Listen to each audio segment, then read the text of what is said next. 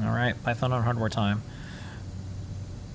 Okay, gonna start with some interesting news, and then you know big news in, in our world.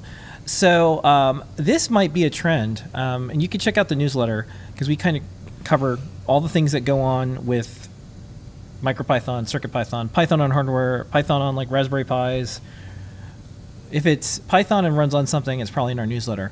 But MicroPython is ending their forums and they're migrating to GitHub discussions. That's interesting. It's interesting. So here's some of the features that they say that will be uh, over there.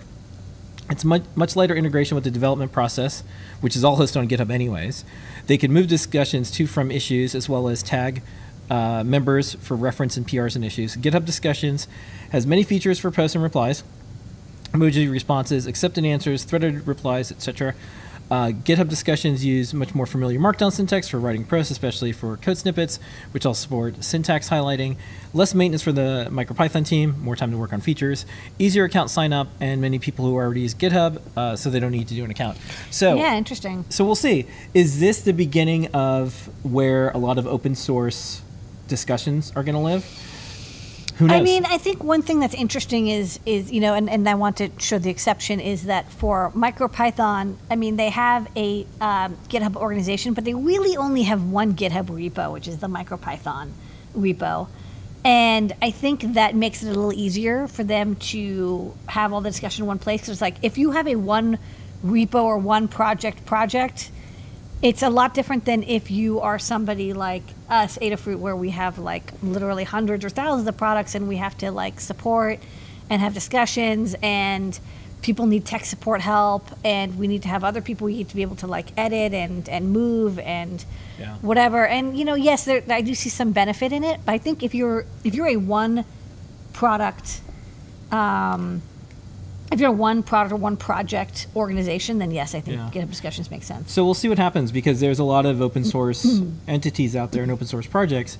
If if GitHub's discussions are going to uh, move things away from mailing lists or forums, or there's Gitter, there's uh, mailing Slack. lists are definitely like you know there are some mailing lists but i don't i don't see people creating mailing lists as much anymore so we'll we'll see what happens. And then a lot of folks really like Discord, real time discussions on things.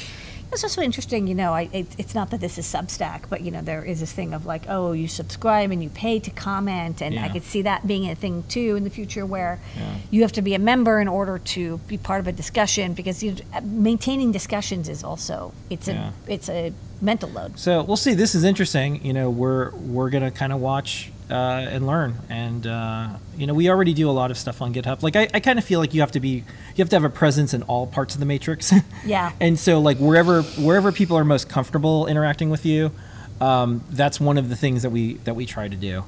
Um, anyways, so. Um, in addition to all of that type of news and more, keeping tabs on uh, trends in the community and open source, weekly video shows, all the new hardware, you're probably saying, boy, this is like the best Python on hardware newsletter. How many have have been uh, sent out? 200. Congratulations, everybody on the Circuit Python team. We are now up to the 200th Python on Microcontrollers newsletter. I think it's the biggest, most popular Python on hardware newsletter out there. Um, I think it's one of the only ones. So it's always safe to say that. And um, special thanks to Anne and all the contributors. Um, it used to be my old job doing this, but uh, one of the cool things is we get to hire and work with cool people in the community that eventually end up working at Adafruit and they get to take over these things. So great work, Anne, um, with all the newsletters. We're trying to get to about 10,000 subscribers. We have uh, over 9,000, but that's one of the goals that we have for this year. So Subscribe, tell you your could- friends. Yeah, delivers every single week. No spam. We don't harvest your email. There's no sales, no ads. It's not sponsored. Nothing. Um, Adafruitdaily.com. It's a completely separate website because we didn't ever want anyone's store account to have anything to do with the newsletter, where it was just information like this. So that is our vibe.